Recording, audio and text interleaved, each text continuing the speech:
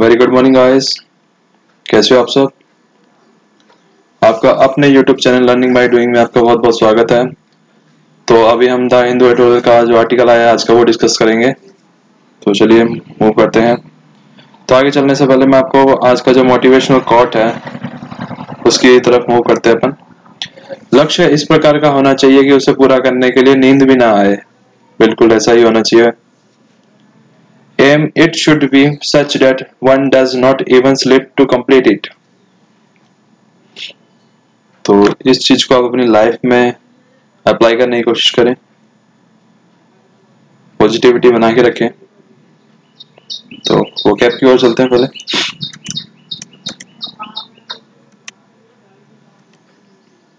तो आज की वो कैप्स सिग्नल कन्वे इंफॉर्मेशन और instructions by means of a gesture action और साउंड संकेत करना सिग्नल देना ना, उस टाइप का। हिंज ए मूवेबल जॉइंट और mechanism on which a door gate और lid swings as it opens and closes or which connects link object कहने का मतलब ये है कि जैसे जो गेट जिस पे टिका हुआ होता है ना जो एक तो गेट के बाहर से जो उसकी बाउंड्री जो चौकट होती है, और उसमें वो बीच में जो जिसके थ्रू वो जॉइंट होते हैं, उसको यहाँ पे हिंज कहते हैं। जो टिकता है जिसपे, के थ्रू वो ओपन और क्लोज होता है मूवमेंट जिससे होती है उसकी। Strain great worry and concern तनाव। Heighten to increase the amount or degree of बढ़ाना। Volatility a tendency to change quickly and unpredictably अस्थिरता, जो स्थिर ना हो। Redemption the act of making something better or more acceptable प्रतिदान। Fallout descent as of fallout through the atmosphere गिरावट environment के कारण उसके चैनल में proximate immediately preceding or following as in a chain of events causes or effect निकट जैसे approximate होता है वैसे ही proximate भी निकट के संदर्भ में यूज़ है trigger to cause something to start or happen शुरुआत करना winding up the process of liquidating the assets of a partnership or corporation in order to pay creditors and make distributions to partners or shareholders upon dissolution एक तरह से इसका जो cracks बताऊँ मैं तो वाइंडिंग अप का मतलब ये होता है जैसे कोई कंपनी वगैरह है तो उसको बंद करना incipient beginning to come into begin or to become apparent प्रारंभिक अवस्था में स्थिति यानी इनिशियल स्टेज पे जो उसकी पोजीशन है वो crucial important or essential as resolving a crisis महत्वपूर्ण है। किसी भी चीज़ से लड़ने के लिए तो उसको महत्वपूर्ण का सेंस जो यहाँ पे वो क्रूशियल का cognizant knowledgeable of something specially जानकार, जानकारी किसी के रिगार्डिंग होना। Be set to cause problems or difficulties for someone or something कठिनाइयों का कारण। Appetite a desire or liking for something इच्छा या पसंद करना। Not too distant at a time that is not long from now बहुत दूर नहीं है downgrade reduced to a lower grade rank or level of importance. Gambit a remark intended to start a conversation or make a telling point पहला कदम तो gambit कहा जाता है intervention the act of interfering with the outcome or course especially of a condition हस्तक्षेप करना। तो उसके लिए इंटरवेंशन का यूज़ किया जाता है यहाँ पे।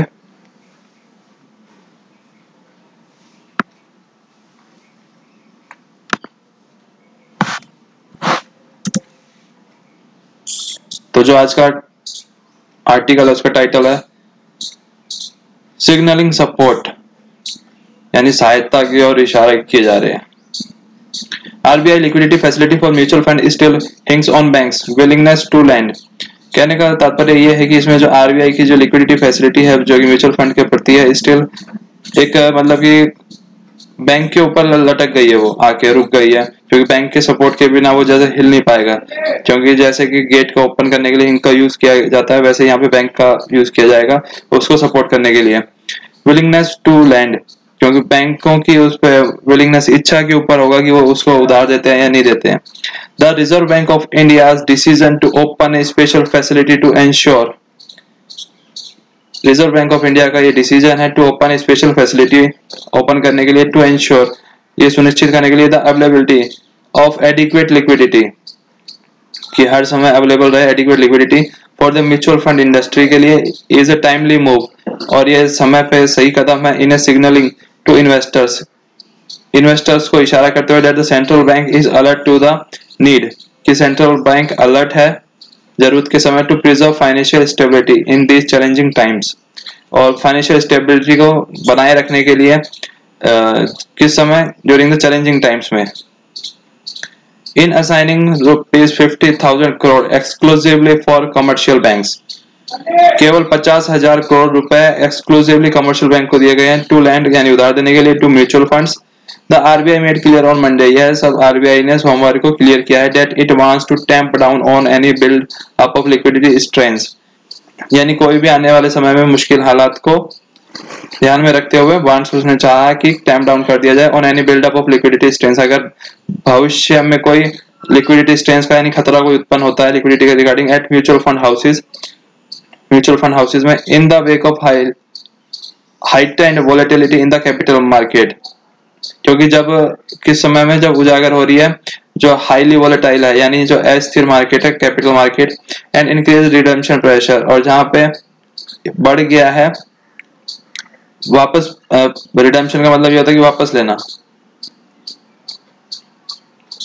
Pressure as a fallout fallout यानी कि गिरना। जैसे पत्तेझड़ में पत्ते गिरते हैं उसके sense fallout of the COVID 19 pandemic COVID 19 pandemic के टाइम पे। The approximate trigger for the central bank move was last week announcement by और ये जो, करीब करीब जो ये शुरुआत की गई है सेंट्रल बैंक की, जो यूज़ कर रहे हैं सेंट्रल बैंक ये सब जो चीज़ें हैं, वो लास्ट वीक जो अनाउंसमेंट की की थी किसने? By Franklin Templeton mutual fund ये कंपनी है इसके द्वारा that it was winding up six debt fund कि वह छह डेट फंड को बंद कर रहा है। Funds that collectively had asset under management और फंड्स को जो बंद कर रहा है, उसको कलेक्टिवली मिला के जो asset under management A M A U M amount है, वो करीब करीब छब्बीस हज़ार करोड़ रुपए का है। The RBI has rightly recognise RBI ने यह सही पहचाना है। द अर्जेंट नीड कि एकदम अर्जेंट नीड है to ward off any incipient contagion impact from the closure of these six funds. Ward off यानी कम करना, उसको इंसिपियंट कंटाजियन इम्पैक्ट कंटाजियन मतलब इन सब का जो ग्रुप का मिला के जो कॉम्बिनेशन में जो इम्पैक्ट पड़ेगा, उसको from the closure of these six funds के द्वारा. तो उसको कम करने के लिए आरबीआई ने ये सही कदम उठाया ऐसा कहा जा रहा है। सही टाइम पे पहचाना। With the overall industry wide A U M for dept fund अगर बात की जाए with the overall industry wide जो A U M for the dept fund at about पंद्रह लाख करोड़ रुपए का है, जिसमें छब्बीस हज़ार करोड़ का तो इसका था फ्रैंकलिन का इट वॉज़ क्रूशियल और ये काफ़ी इंपॉर्टेंट है for the banking regulator to reassure banking regulator को। इट वॉज़ क्रूशियल इंपॉर्टेंट है for the banking regulator banking के जो रेगुलेटर है टू रीएश्योर इन्वेस्टर्स कि जो उसमें पैसे लगा रहे हैं, उनको फिर से आश्वस्त किया जाए that liquidity need not be concern कि जो लिक्विडिटी का है, वो कोई कंसर्न नहीं है, कोई चिंता का कारण नहीं है while deciding on whether to retain or redeem their investment जब वो ये सोचें कि क्या हमें इसमें पैसा लगाना है या निकालना है their investment in these mutual funds तो उस टाइम पर आरबीआई का एक अच्छा कदम है। ऐसा कहा जा रहा है। The Association of Mutual Funds in India had separately last week short उन्होंने से अलग से लास्ट वीक शॉर्ट यानी मांगा है और कहा है to assure investors that majority of dept fund schemes जो मेजोरिटी ऑफ़ डेप्ट फंड की स्कीम्स है had invested in superior credit quality securities उन्होंने सुपीरियर क्रेडिट क्वालिटी में इन्वेस्ट कर रखा है and had approx appropriate liquidity to back their normal operation और उनके पास पर्याप्त लिक्विडिटी है कि जिससे वो वापस अपने नॉर्मल कंडीशन में आ जाए। With the facility is a straightforward 90 days repo base और जो फैसिलिटी है, is a straightforward 90 days repo based lending window from which banks can avail credit to provide loans to mutual fund और ये जो RBI ने जो facility दी है, पचास हज़ार करोड़ की एकदम स्ट्रेट फॉरवर्ड है। कि नब्बे दिन के repo repo base lending window पे। From the from which banks can avail जहाँ से बैंक वहाँ से उधार ले सकते हैं। और प्रोवाइड कर सकते हैं। Can avail credit to provide loans to mutual fund there are concern जो चिंता का विषय वो ये है about the banking industry's willingness कि बैंकिंग इंडस्ट्री की इच्छा विलिंगनेस टू एक्सपोज यानी उजागर करना to it to the credit risk यानी क्रेडिट के खतरे को involve in making these fresh loans क्योंकि इस टाइम पे लोन देना भी खतरे से खाली नहीं है, उसके सेंस में बताया गया ये। That the RBI was cognizant. RBI ने पहचाना. Of these जानकार है, is evident in the way that the norms has been tailor made कि जो नॉर्म्स है, वो टेलर मेड है to incentive the bank to lend उधार देने के लिए. From allowing banks to breach their 25 percent ceiling allow करना है. From allowing banks to breach यानी तोड़े वो देर ट्वेंटी फाइव परसेंट की जो सीलिंग्स है जहाँ पे वो अपनी जो इन्वेस्टमेंट का जो ट्वेंटी फाइव परसेंट जो रखते हैं, वो केवल इसमें रखते हैं कि जिससे कि वो, जब तक वो मेच्योर ना हो जाए, वो जब तक वहीं रहेगा। As a consequence of lending to mutual funds किसके कारण? टू क्योंकि म्यूचुअल फंड्स को उधार देना है।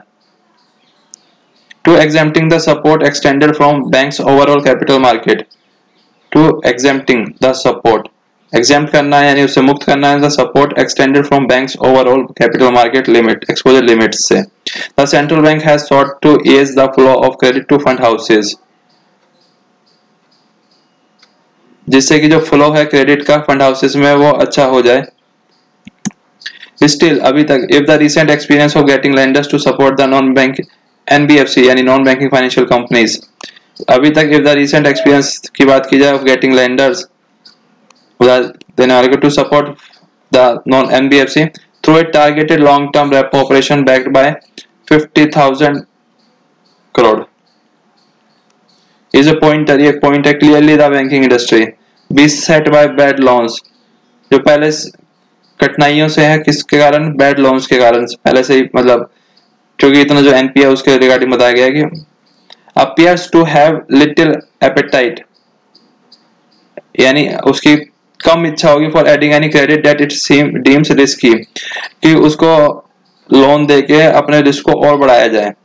Moreover with the economy still in lockdown और उससे बड़ी बात, अभी तक economy still in the lockdown में है पीरियड में and the credit rating of even relatively well establish company और जो क्रेडिट की रेटिंग है, जो अच्छी खासी वेल एस्टेब्लिश कंपनी है facing a real and not too distant threat of downgrade और वो भी दूर नहीं है डाउनग्रेड से। How willing banks would be use this facility to lend to dept mutual fund remains to be seen अब ये देखने वाली बात होगी कि बैंक्स कैसे इस फैसिलिटी को यूज़ करते हैं देने के लिए टू म्यूचुअल फंड्स कंपनीज़ को। द सेंटर में नीड टू बी रेडी केंद्र को यह तैयार रहना चाहिए to step in with direct intervention of the RBI कि उसमें हस्तक्षेप करे direct intervention of the RBI gambit gambit का मतलब जो उसने पहला स्टेप उठाया fails in intervention of the RBI gambit fails to ease अगर ये फेल होता है to ease the pressure on mutual fund अगर जो प्रेशर को मतलब कम करने के लिए जो कहा गया है यानी उसको इजी करने के लिए जो कहा गया, इन तो ये फेल होता है तो गवर्नमेंट को तैयार रहना चाहिए कि उसमें डायरेक्ट इंटरवेंशन कर सके। तो होप गाइस आपको आज का ये आर्टिकल समझ में आया होगा, पसंद आया होगा। और आप अभी तक हमारे चैनल को सब्सक्राइब नहीं किया है तो आप सबसे पहले हमारे चैनल को सब्सक्राइब कीजिए। और अभी जैसे आज से हमने इसमें जनरल अवेयरनेस की क्लासेस भी स्टार्ट की है तो आप वो भी रेगुलर बेसिस पे आगे जब आप सब्सक्राइब कर देंगे तो नोटिफिकेशन आता रहेगा जब आप बेल आइकन को प्रेस करेंगे।